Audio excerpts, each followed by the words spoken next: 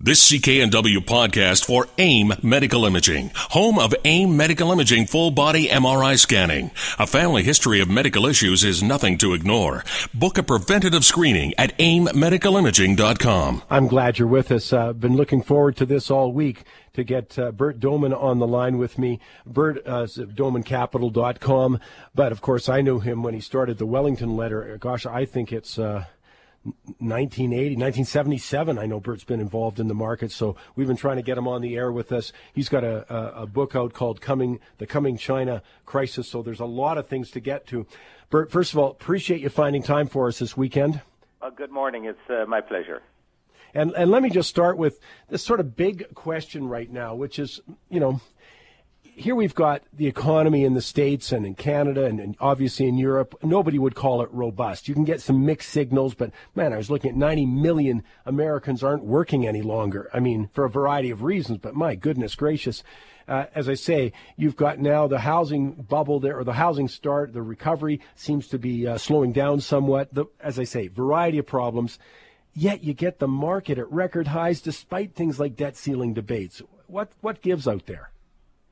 Well, uh, uh, first of all, the economy. You know, I think there's a, a great uh, misconception out there amongst economists. Most economists are predicting uh, economic growth. They're looking at uh, small signs that say, "Oh, here we go, the economy is strengthening," which is all uh, phony.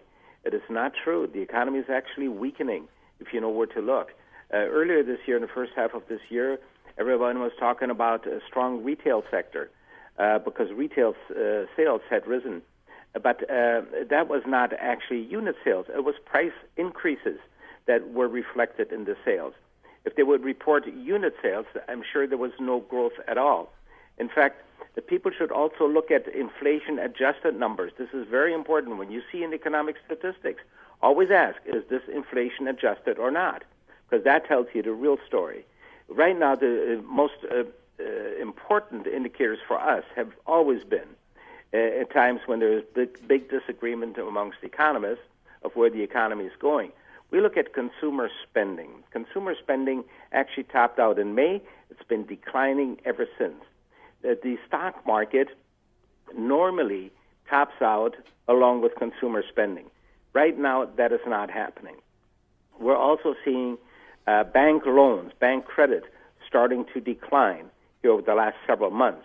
And this is amazing because of the huge uh, inf- uh, the influx of money from the Federal Reserve. They're putting 85 billion with a B dollars into the financial system every month. That's one trillion dollars per year, and it is not doing anything to uh, uh, boost lending from banks. So these are uh, signs to worry about. Then, of course, we all know what's going to happen next year, and that is, you know, uh, basically uh, people that work for larger companies Many companies have already said that uh, they will downsize people from 40 hours a week, the regular work week, to 29, so that uh, they don't fall under the Obamacare Act.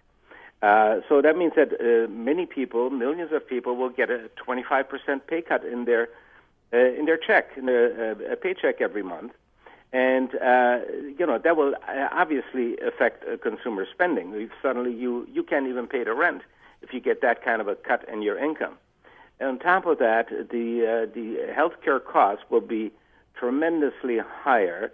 Even the government uh, estimates that the average male will have a 99% increase in his health insurance costs.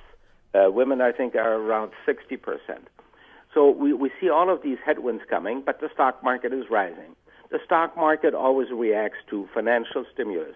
There's excess liquidity creation, 85 billion per month, and that goes into the stock market in the form of speculation. So you can still make some great profits here over the next two months in speculation. That's not investing. Uh, let me come to something like you had a terrific track record. Uh, you wrote a book, for goodness sakes, called Prelude to Meltdown. That was in 2007. In the book, you said, "Hey, watch out, 2008." You're looking for you know sharp decline in the markets, and and I guess the big question, and you've just sort of started to answer it there for us, Bert, which is you know, what about the exit strategy for individual investors? Uh, as you say, this is so dominated by politics and Federal Reserve policy and not necessarily fundamentals in the market uh, that I think a lot of investors, as you say, are, are kind of nervous. uh, but they don't see alternatives in the fixed income market, so they're in the market. What kind of context can you give for them? Yeah, you know, Michael, uh, thank you for pointing that out. My book, Prelude to Meltdown, was written in 2007. I never wanted to write a financial book because it's just drudgery, and uh, really, you don't make any money on a financial book. But I, re- I wrote in the preface, I said, uh, 50 years from now, economists will be talking about what will happen next year and why nobody saw it coming. And I want to at least put it down in writing that uh, one person saw it coming. So I said 2008 will be like a 1929. We will see a global financial crisis, and uh, and uh, whether they will be able to stop a meltdown or not, we couldn't know at that time in 2007. And as we uh, know after the fact, after 2008, Chris Dodd, um, you know the uh, um, the politician in Washington, he said actually people don't realize that I was at a conference where he said this that we were 10 minutes before shutting down the banking system of the United States. He said that. So uh, it was really critical. And it was easy to see. And uh, for next year, I think it's relatively easy to see also what is going to happen to the economy. But investors shouldn't go up. You know, in downturns, in market declines, especially sharp ones, you can make more money than in bull markets. And we did that in 2008. You know, we recommended uh, uh, in September, September 4th, we recommended five ETFs, inverse ETFs. They rise when the stock market or the sector declines. And they were up an average of 72% over the next six weeks. 72% gain in six weeks. So you can make a lot of money in market downturns. So don't stick your head in the sand. Don't use the ostrich method of investing. These are great opportunities. You're going to have some great opportunities going into year end, and I think you're going to have some uh, uh great opportunities next year on the other side of the market. And and uh, again, talking about exchange traded funds, that's one of the reasons, Bert. I just think people have to become aware of the opportunities provided because it's a different game. It's a much easier game today than say 20 years ago. Uh, you know, we just came through the anniversary of the 1987 crash. We didn't have exchange traded funds. It's much more difficult to play that down move. Today, it's very easy with exchange traded funds, and I, I really invite people to do that. Terrific. I'm talking. I'm talking with Bert Dohmen. It's really, it's really uh, terrific. Uh, these uh, inverse ETFs are wonderful. You don't have to think about uh, short selling. The ETF does it for you. I'm talking with Bert Dohmen, Dohmen Capital Research. Uh, you can find him at dohmencapital.com. Dohmen is spent D, spelt rather D O H M E N. D O H M E N. Dohmencapital.com. I'll come back more about the markets, but I also want to check with him about China. He's written a book called The Coming China Crisis. He's just updated it. Uh, he keeps a close eye on it. Been traveling there. We'll talk more about that when we come back with Bert Dohmen on the Corus on the Corus Radio Network. Broadcasting today to news from News Talk 770 in Calgary because tomorrow we have the big seminar uh, coming up. By the way, at the seminar, there's going to be lots of great people. Tyler Bollhorn is going to be uh, kicking things off. Steve Duchesne speaking about exchange traded funds. Chad Wasilenkoff will be with me in just a couple of minutes on the air. Andrew Ruhland. It starts at 9 a.m. Plus, of course, uh, later in the afternoon, I'll be ch- uh, hosting a VIP function with Jack Crooks, Victor Adair, uh, as I say, uh, all the other all the other sessions are free, but I would really encourage you to go to the VIP session, learn about the currency and the currency trading market, and with ETFs, by the way. Just go to moneytalks.net. Make a plan to be there tomorrow. Bert Dohmen is on the line with me right now. Very interesting. Bert's been in the markets for 40 years looking at this stuff. Had a terrific track record, especially in terms of getting his investors out of the market. And uh, Bert, if you allow, before I come to China, I want to just come back to that for a sec. So basically, are you going to be just looking for a shift in Federal Reserve policy, or do you think the market's reaction to the existing policy will sort of just run its course and just sort of by whatever method, it just comes down. It's not, uh, you know, because the Federal Reserve just isn't the biggest game in town anymore. Yes, you know, uh, it's a good question. Uh, actually, I think that whole uh, thing about uh, the Federal Reserve reducing stimulus that we uh, heard during the summer was really just what we call jawboning. They never intended to reduce the stimulus because economic conditions don't warrant that. Uh, I think uh, they're not going to withdraw any stimulus for a long, long time. Uh, the only reason that they would have is because the Federal Reserve is basically now buying up all the Treasury securities. And tre- Treasury securities are very important in the financial system as collateral. So if the Federal Reserve ends up owning all the uh, uh, Treasury securities, there's nothing for the private sector to use as collateral. But of course, we have these huge deficits in Washington that need to be financed. So they will be creating many more Treasury securities that can be used. I don't think the Fed is going to reduce stimulus. In fact, if there's any move at all, they might increase the 85 uh, billion stimulus to uh, uh, to 100 billion stimulus uh, next year because the economy will be weakening, and I think that is the important thing to look at. Let me, uh, speaking of uh, countries that are under a challenge, let me come to China because you wrote the book, The Coming China Crisis. That's a big issue, especially in Canada, because of course China has been a main driver of commodity prices. And Canada, you know, has avoided a lot of the pain we've seen in Europe and uh, pain we're seeing in the States because of the commodity uh, boom. But of course, so if China is going to have some problems, that spells problems for Canada. So could you just elaborate what's worrying you most about China at this point? Well, in China, the whole economy is, is, is phony. All the statistics are phony. They're, they're reporting 7.5% GDP growth. Uh, if you just uh, take out the governmental sector and just look at the private sector, in, in our work, it shows that they're at best at 0% growth. And possibly the private sector is in a recession already. They had a terrific credit crunch in June of this year when short term interest rates suddenly went from 7% to 25% in one day. Uh, so they had a real serious credit crunch. Right now, according to uh, our information, small companies cannot get any credit at any bank anywhere in China. So all you've got in China right now is governmental stimulus, infrastructure programs. They're building, uh, what is it, I think 34 million uh, apartments uh, for uh, people, low-income people, and so on.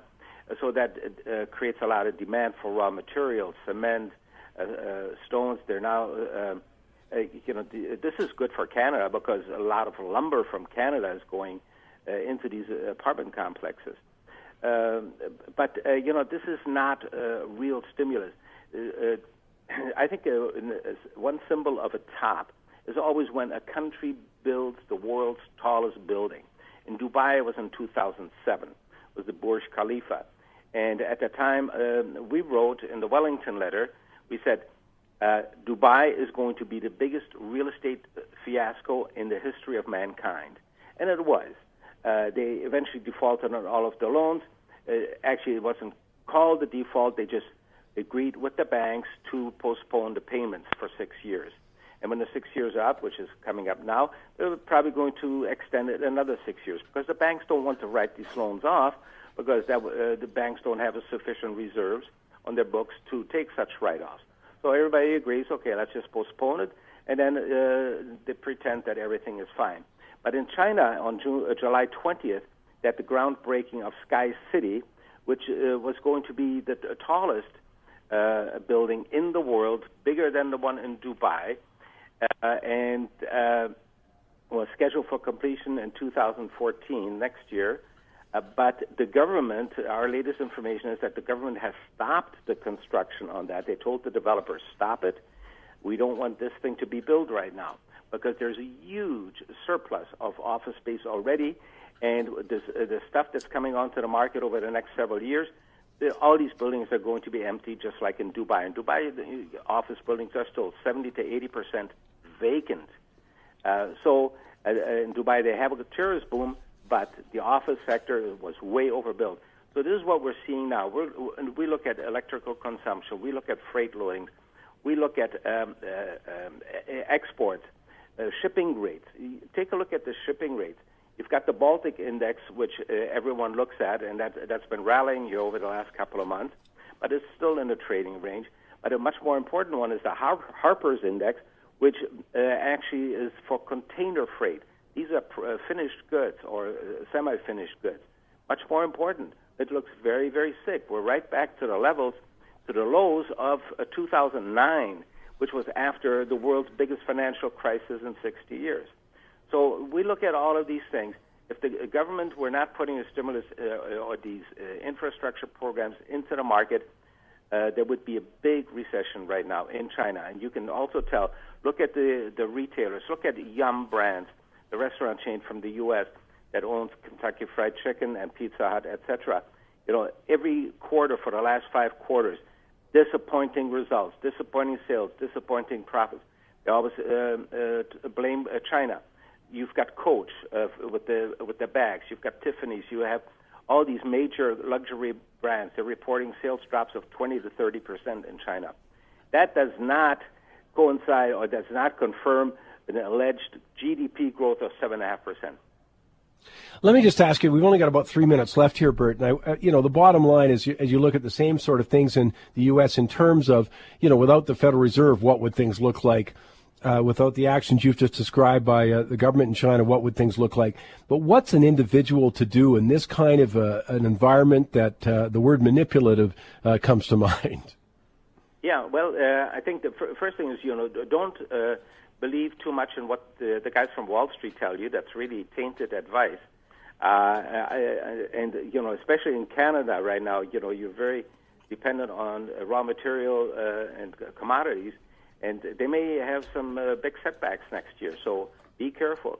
The real estate market is red hot in China. Uh, I mean, in, in Vancouver uh, at least, and uh, that's because of Chinese demand. So be very careful next year. I think next year is, is going to be a year for uh, for the people who know how to sell short.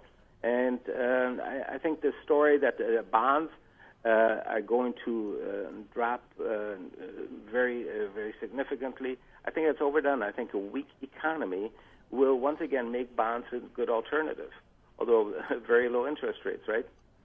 Yeah, that's an interesting point because you say because the sort of consensus was, and, and I mean you know, we've got both Federal Reserve and the Bank of Canada saying, be careful, rates are going up. You know, I'm talking going back to May. You'd had those historical drops. So a lot of people had money in the bond market, but it looks like uh, certainly in the Bank of Canada changed the tune this week, and the Federal Reserve looks like it has. So we might even see lower rates.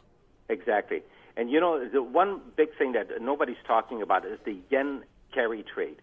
You know, everybody's been borrowing the yen here uh, uh, because the government has been trying to lower the value of the yen, and it was successful earlier this year in doing that in order to fuel the economy in Japan. Well, such stimulus is usually short term. Uh, over the long term, it backfires.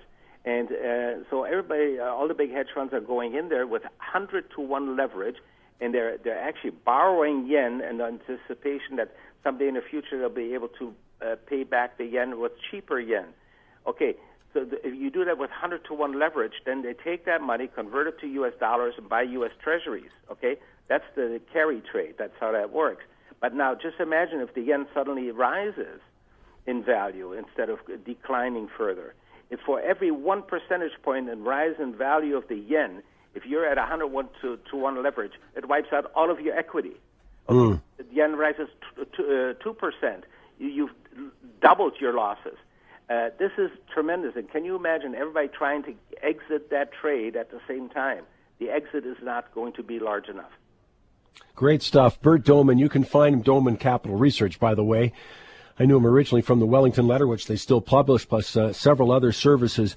DohmenCapital.com, D-O-H-M-E-N Capital.com. Bert, thanks for finding time for us this weekend on the Corus Network. Thank you very much, Michael, and I wish you and your listeners uh, all the best in the next 12 months. It's going, it's going to be challenging.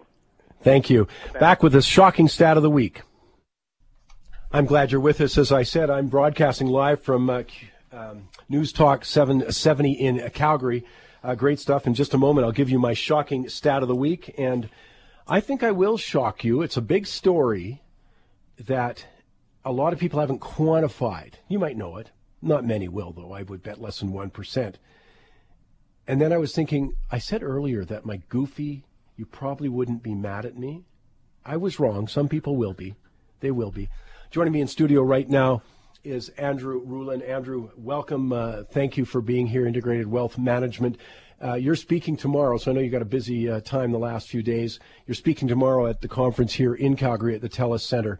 Um, but I wanted to get a chance to chat. We had chatted a little bit ago, and now mm-hmm. we see a different environment. When we came uh, last time we chatted, you said, "Oh, be careful. There's going to be the debt ceiling debate going on. Oh, be careful. There's going to be more political ramifications dominating the market." Mm-hmm. And I'm just saying, what are you saying to your people right now? Well, basically, Uh, it's the same themes over and over again, but as uh, Bert alluded to a few minutes ago, when you've got all of this stimulus, that's what markets react to. So markets probably have um, a tailwind for the foreseeable future. There's going to be dips, there's going to be bumps, but ultimately, you know what? We're in a, we're in a bull market until uh, until we have some kind of major uh, major downturns, major catalyst for the downside. Yeah, until proven proven other words, as we say. I agree. Absolutely. It's it's such a scary bull market because it feels phony a little bit because of all the stimulus. I think Very that's what so. I find difficult personally at my own and that's why I've said consistently buy dips, buy quality of in my case it's yield. Absolutely, You know, timing is yield. timing is important, but quality is always important, Yeah. right? And it, it's so difficult when there doesn't seem to be reasons for things to be in an uptrend, and basically you you get in your own way by overthinking. Yeah. Oh, God. You, you stared right at me when you said that because you read my mind. That's me. Absolutely. You know, too much information. Mm-hmm. So I come back to these kind of basics for myself to to move forward. The other thing about quality, though, is I, I make this distinction. I have to remind myself what the distinction is. We just talked earlier about China, talked earlier about the U.S. Mm-hmm. That's a government problem that on a shorter term can spill over for sure when it hits the credit markets. But I think it is a private sector world. Mm-hmm. And as you can imagine, people who see the world through some other lens don't like that. But the evidence is just overwhelming at this point. Mm-hmm. Yep. That's what I also think that stock market move. So a quality company can survive the government disruption I see coming in the States and France. You know, we've already seen it in Southern Europe. Mm-hmm. Yeah, absolutely. And and it's not that there isn't going to be volatility. The fact is is that the volatility is part of the price that you pay for get the premium return, but you got to be prepared for a few bumps. Now, good asset selection, some good timing and a little bit of trimming here and there can take the sharp edges off, but if you want the return, you know, you need to put up with a little bit of the bumps. Now, as I say, I don't want to take uh, steal your thunder here, but tomorrow you're speaking. Mm-hmm. Uh, what are you speaking about tomorrow? I'm actually going to be speaking about happiness and how happiness relates back to our success with money, and uh, and some of the keys to uh, the keys to happiness. Yeah. Give me one teaser. Oh, one teaser. Oh, um, what is the one common theme that all of the scientists and the spiritual traditions of the world have uh, agreed upon uh, that is critical to success and happiness? So if you want happiness, you come tomorrow, Telus Center. Mm-hmm. Uh, uh, of course, in Calgary, we're talking here. Just go to moneytalks.net right now. You can go today and uh, just sign up. Uh, you can come in here, Andrew, and talk about the prices right. It's free. Mm-hmm. That's pretty good. We are doing with uh, a VIP section later on with uh, Jack Crooks, with Victor Adair. We'll be talking about tr- uh, currency trading, risk management, that kind of stuff. The other thing, though, um, your wife is coming. Janet is coming. She's speaking about healthcare, which is, you know, a big subject for me. Absolutely. Um, Janet Ballard is the um, she's the founder of Proactive Healthcare Advisors, and what she's going to be speaking about is parent care planning and some of the, the key things to watch out for. When you think You about, must know what happened to me all summer. I mean, I shouldn't say it in that way. It was a very, it's a very difficult time. Absolutely. When you have that. Uh, Now, is there anything more important to most people than their family? The answer is probably no. Mm-hmm. And if the answer is yes, well, they probably have other things that need, they need to be looking at. but the fact is, is that uh, the issue with aging parents and looking at uh, dementia and Mm-hmm. declining physical health and the family dynamics and the social aspects and their housing aspects, those are critically important issues that um, so many people are dealing with. But because as a society we've not dealt with this aging population before, we don't know how to do it. it's also politically not comfortable because it changes the dynamic of how we've talked politics for the last 50 years. Mm-hmm. I'm proud to say, by the way, I included that over 10 years ago as the key element in financial planning, is your own health Yes. and how are you going to handle and help with your parents and that. So it's going to be very interesting. I look forward to seeing you down there tomorrow. You'll be there with it. bells on. Integrated Wealth Management, Andrew Ruhland here in Calgary at News Talk 770. I'll take a break. Chad Wasilenkoff's going to be here. I've got a goofy award. Oh, my shocking stat. I can't leave you without that, baby. Wait a second. Here's my shocking stat of the week. We've got 105 senators in this country. What they're expected to do is work three days a week for only 29 weeks a year. You know what their salary is? $132,300 plus, and here's the plus, plus expenses, plus pension. Senators are employed until the age of 75, but they can retire as young as 55 with 75% salary. They also get 64 round trips in Canada per year, $20,000 travel allowance if they live over 100K, 100 kilometers away from Ottawa. That reminds me of the Roman Senate at this point, but 132 grand. That's, and let's face it, for some of them, attendance has been abysmal. But even if you attended, this was so funny because yesterday they met on a Friday, and every newscast I heard said, "Oh, they're meeting on a Friday. They're actually working on a Friday."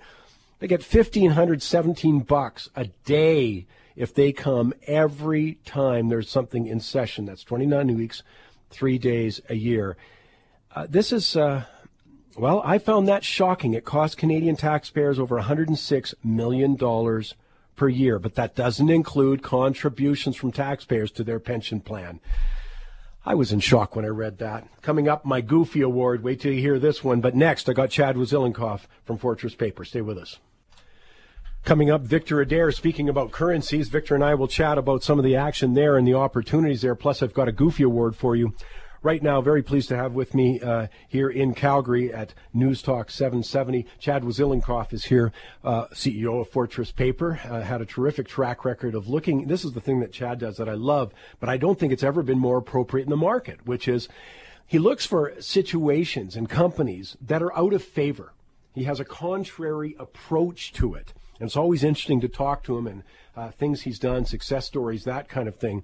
Uh, and uh, boy, has it ever been more important, Chad? Because I can tell you, first of all, thanks for coming in, by the way. No, thanks for having me. But uh, but I, I, can tell you, you know, you know, you look at the market, the valuations feel awfully high in some areas. So we're all sort of detectives. If you want to buy something, looking for something that maybe the crowd hasn't discovered at this point.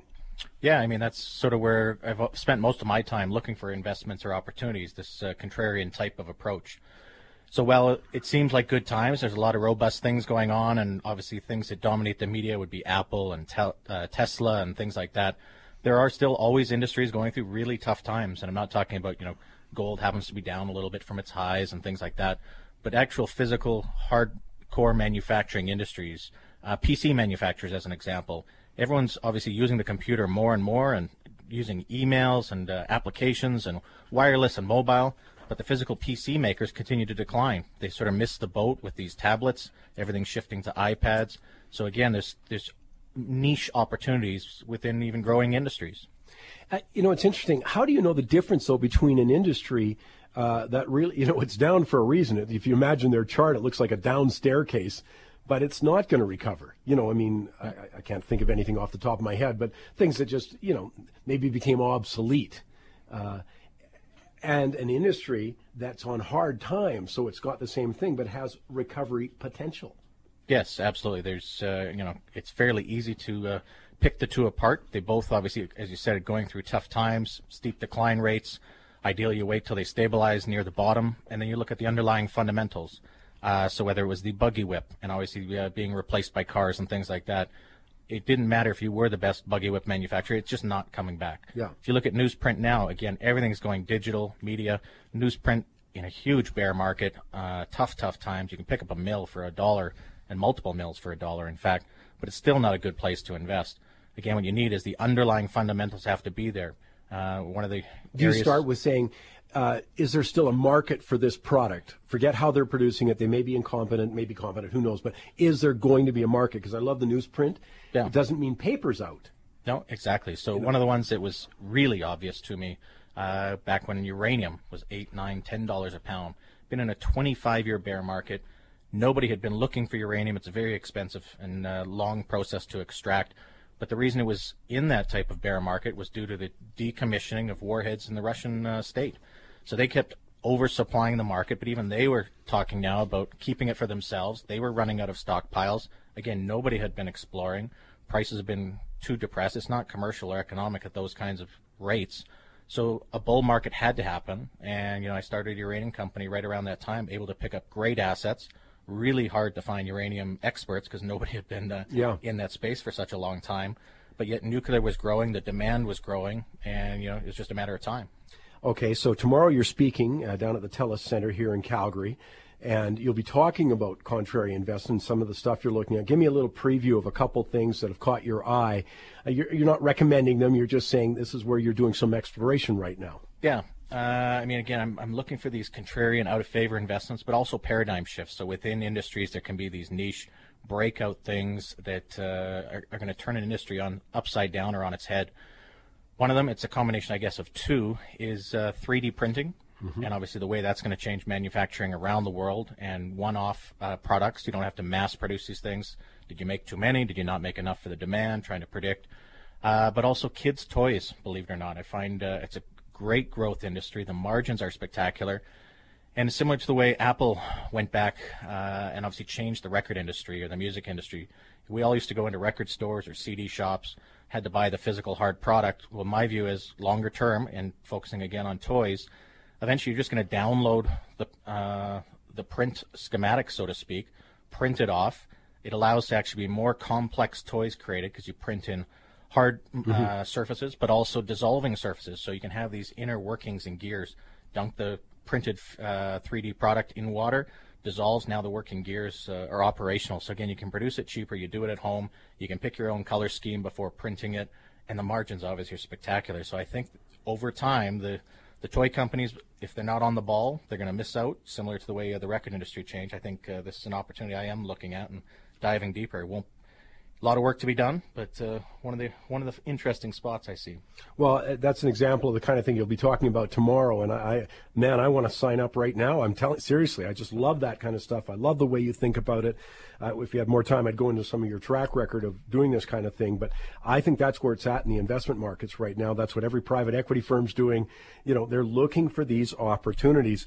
I invite you to come and hear Chad Wasilenkoff tomorrow at the TELUS uh, Convention Center if you're around the Calgary area absolutely make a point of doing that. Uh, you know, and later on, I'll be doing a VIP session with Jack Crooks, flown up just from Florida, Black Swan Trading, Victor Adair. I think you should know about. Uh, I think you should know about trading currencies and the opportunities there. But the whole uh, session before is absolutely free. You come down, but you have to sign up on moneytalks.net to get your ticket. So do that. Go to moneytalks.net. But Chad will be there. I'm going to be there listening to you. Chad, great stuff. Thanks for coming in. Thanks for having me. I'll take a break. I'll come back. Victor Adair and a goofy. Stay with us.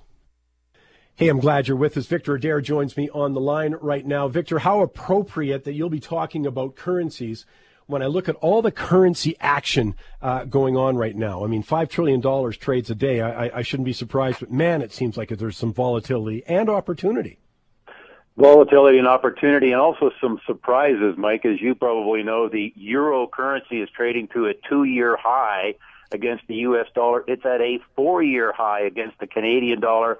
I think that's a direct result of the, the major theme of market psychology right now is that the Federal Reserve is going to just keep on printing. In other words, there's going to be more and more U.S. dollars out there, in effect, diluting the value of the U.S. dollar you might look at Europe and think, man, is that ever a disaster waiting to happen? How could their currency possibly be rising against the U.S. dollar?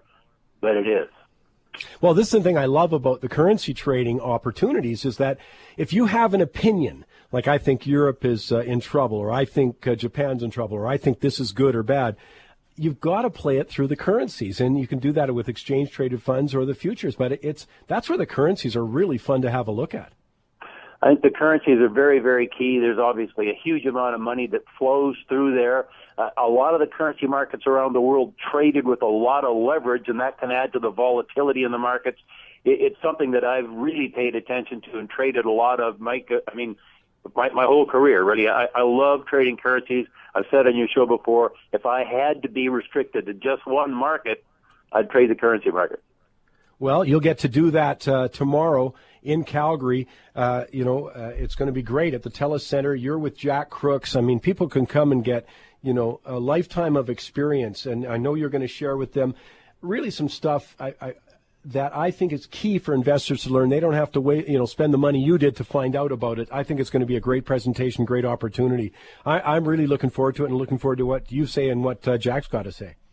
Mike, what I'm going to do, basically, I've got 10 key questions that I ask myself just to see if I'm doing everything I can to try to be a better trader, including the thing that I think is the single most important key that you have to uh, do if you're going to improve your trading performance. Then I'll take uh, a, look at a number of the currency markets and apply those keys and talk to the folks that are there about what I think is right now my very best uh, trading idea in the currency markets. So uh, come and meet Victor Adair, of course. Uh, all you have to do is go to moneytalks.net. He's part of the VIP uh, session there a, a, session that only costs you $99 to get a world of opportunity. And as I say, Victor will talk about his latest trading, but also, I think more importantly, the risk management skills he'll bring to bear on it. Victor, look forward to seeing you there. I'll look forward to seeing you too, Mike. Have a great weekend. Just go to moneytalks.net. Time now for this week's Goofy Award. I'm always interested in what the public and the media focus on. This week, of course, there was tons of attention on Mike Duffy's accusation that the prime minister was in the room when he was instructed to pay the money back or, or else. Uh, and of course, they waited with bated breath to hear Pamela Wallin speak. And I'm happy they both got their say. But the level of coverage, I think, tells you more about the interest on the part of the media than the fact that three senators have been forced to pay back expenses that weren't eligible and did the prime minister know when and where and all that stuff? I mean, it's just such easy stuff to report on. It doesn't take uh, any depth at all. And I, I, agree. I mean, the Senate sp- scandal is infuriating to many of us, but it's really small potatoes, especially given the money has been paid back. I know we're supposed to be interested in the political machinations around it all, but uh, aren't there a lot bigger fish to fry here? I mean, for me, the real goofy is this. If petty politics really does turn us on in the media, to this degree, anyways, And we're missing a far bigger scandal. I'm not talking about 109 arrests in the Quebec corruption scandal, the $1.1 billion the Ontario Liberals' cancellation of two power plants strictly for political gain caused. I'm talking about the Senate itself. Every appointment in that Senate is a payoff for some sort of party in power. I mean, Mike Duffy and Pamela Wallin, what were they there for? To help raise money for the Conservative Party. I mean, the senators aren't appointed on merit. They're not, you know, they're appointed for some service they render to the party in power. In this case, it's conservative. Before that, the liberals, and it costs us 106 million bucks per year. For what? Because they serve the interests of the government in power. To me, that is a far greater interest than a minor expense scandal when the money's been paid back. I invite everyone to have a look at that one. That's all the time we have. Glad to be here. My thanks to people at News Talk 770 in Calgary. Thanks for listening.